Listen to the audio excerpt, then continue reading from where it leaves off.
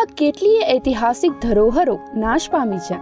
ત્યારે એક હજાર ચારસો ચુમ્માલીસ ગામની રિયાસત આજે પણ અકબંધ છે સાબરકાંઠા જિલ્લાના હિંમતનગરના દોલત વિલાસ પેલેસમાં.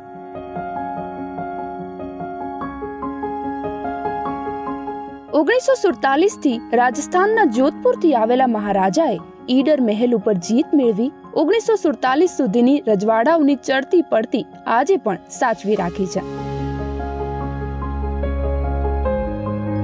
જો કે મોટા ભાગના લોકો માટે દોલત વિલાસ પેલેસ, ઐતિહાસિક ધરોહર અને તેની સાથે જોડાયેલી વિસ્તૃત યાદગાર અનુભવ બની રહી છે.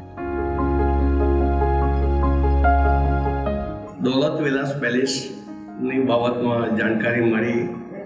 મેં એને ગૂગલમાં સર્ચ કરી અને મેં મારા ફેમિલી સાથે હું અહીંયા આવ્યો. અહીંયા પછી જોયું કે વિરાસત પેલેસની અંદર શું શું હોય છે જે આપણે ખાલી વાંચ્યું છે ઇતિહાસમાં, પણ કોઈથી જોયું નહોતું એટલું છે ક્યારે રાજસ્થાન ગયા હોય, ત્યારે કે એવી કોઈ હોટલ કન્વર્ટ થઈ એમાં રહ્યા પણ જે પેલેસમાં રાજા રે, એમના પ્રિન્સ રે, એમની સાથે રહેવાનો આ મારો પહેલો મોકો છે. આ લોકોએ વર્ષો પહેલાં સરદાર પટેલના કહેવાથી પોતાની અબજોની મિલકત ભારત દેશને સોંપી દીધી. અને એ મોટું બલિદાન કહેવાય એમનું કે હિન્દુ, ભારત દેશમાં એ સામેલ થઈ ગયા. લગ્ન પંક્તિઓમાં ગવાતું ગીત અમે ઈડરિયો ગત જીત્યારે આનંદ ભયો. અમે લાખની કન્યા જીત્યારે આનંદ ભયો. અમે લડી લઈ ઘરે જઈશું આનંદ ભયો રે. તે આજે પણ અમર છે. અંગ્રેજો સામે ઈડરના રાજવીઓ ક્યારેય હાર ન માન્યા હતા. જો કે આજે પણ તે સમયની રાજવી પહેરવેશ, ઘોડસવારીના સાધનો, ધાતુ અને ચર્મ દ્વારા બનાવેલા બૂટ, તાળા આજે પણ અહીં જોવા મળી રહ્યા છે. તે સમયની મોંઘી કાર જે આ રાજવી પરિવારોની આજે પણ શોભા વધારી રહી છે. તે આર્થિક વૈભવ્યતા પણ અહીંયા જોવા મળી રહી છે.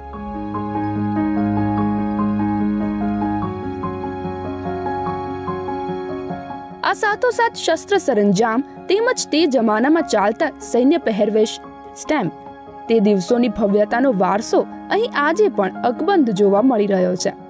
ત્યારે ઈડરગઢ તેમજ ઈડરના રાજવી પરિવારનો સંપૂર્ણ વારસો હાલમાં હિંમતનગર ખાતે મહારાજ હિંમતસિંહ દ્વારા બનાવેલા દોલત વિલાસ પેલેસમાં યથાવત રીતે સચવાયેલો જોવા મળે છે.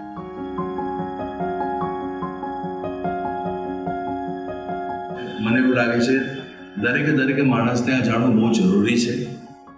કે આ જે રિયાસતો બધી હતી, એ લોકો ખાલી મજા મસ્તી કરી છે એમ નહીં પ્રજા માટે ઘણું કરેલું બી છે.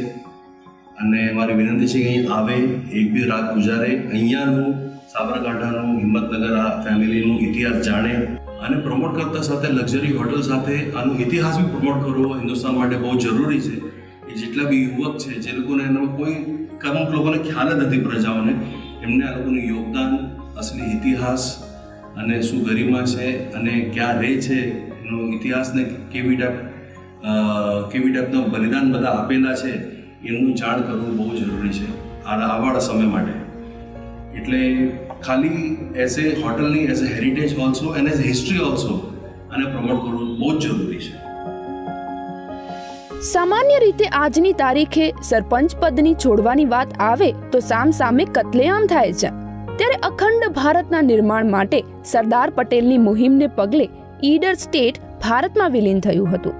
જો કે ઈડર સ્ટેટ એ સ્વતંત્ર દેશ હોય તેમ તેનું અલગ ચલણ પણ અસ્તિત્વમાં હતું. ઈડર સ્ટેટની પોતાની અલગથી મિલિટરી તેમજ સ્ટેમ્પ હતા. જો કે એક હજાર ચારસો ચુમ્માલીસ ગામના રાજાની જાહો જલાલી આજની તારીખે પણ યથાવત રીતે સચવાઈ છે. ઇતિહાસના ત્રણસો વર્ષથી વધારેની યાદો યથાવત સ્વરૂપે જોતા દરેક મુલાકાતીને તત્કાલીન સમયનો વારસો અને વૈભવ સહિત ગૌરવવંતી યાદ અપાવવા સક્ષમ છે.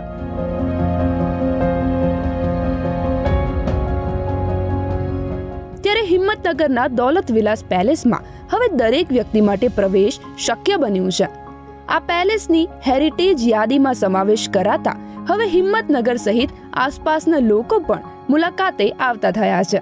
જો કે મુલાકાતીઓની દ્રષ્ટિએ દોલત વિલાસ પેલેસ એ અજય અમર સંભારણું છે. સાથોસાથ ત્રણસો વર્ષ પહેલાના રાજા રજવાડાઓની દિનચર્યાથી લઈ શસ્ત્ર અને શાસ્ત્રો તેમજ પહેરવેશ રીત રસમ સંપૂર્ણ રીતે ટકાવી રાખવામાં આવ્યો છે. દોલત વિલાસ પેલેસમાં આજે પણ રાજાઓએ કરેલા શિકારની તસવીરો તેમજ વાઘ, રીંછ અને સાબરના કરાયેલા શિકારના સંભારણા દિવાલો પર દેખાય છે. જો કે દિન પ્રતિદિન ભૂલાતા જતા વારસાની જાણકારી મેળવવા દોલત વિલાસ પેલેસની મુલાકાત જરૂરી છે. અહીં આવનારા દરેક વ્યક્તિ માટે દોલત વિલાસ પેલેસ ત્રણ દાયકાના રજવાડાના ઇતિહાસને જાણવાનું સ્થળ બની રહ્યું છે. દોલત નિવાસ પેલેસમાં રોકાયા છીએ.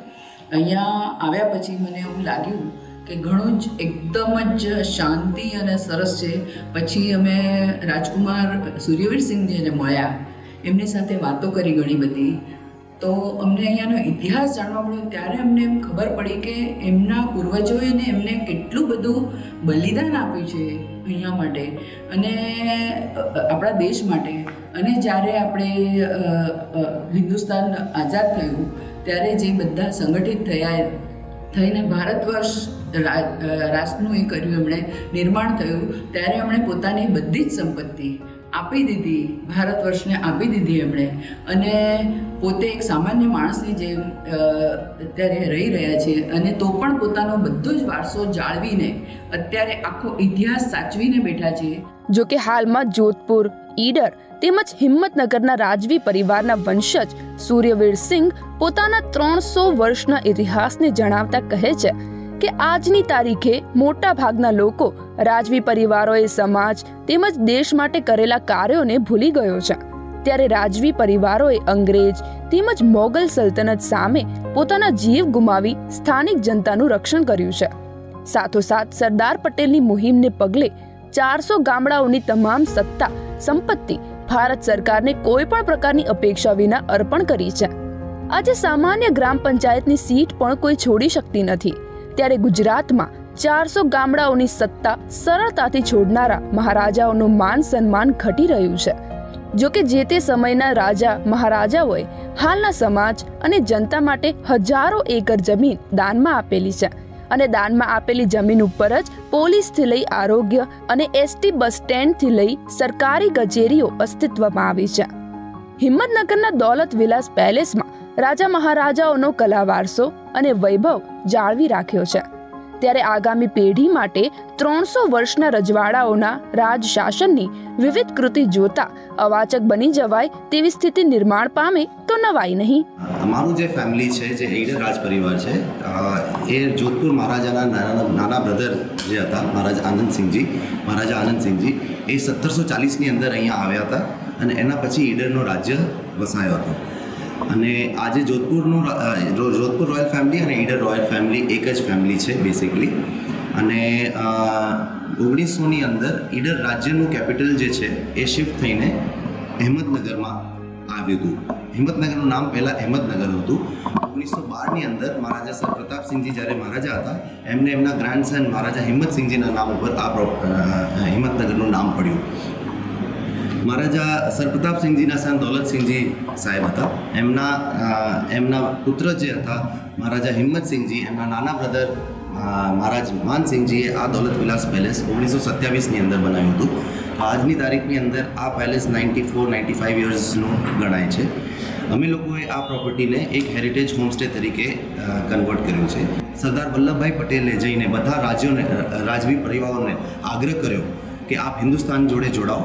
અને tenth of June nineteen forty એટના દિવસે Idar state merge and became part of the republic of India આજના તારીખે, આજના દિવસમાં અમે લોકો અમારા ફેમિલી બધું અહીંયા જ અહીંયા જ રહીએ છીએ.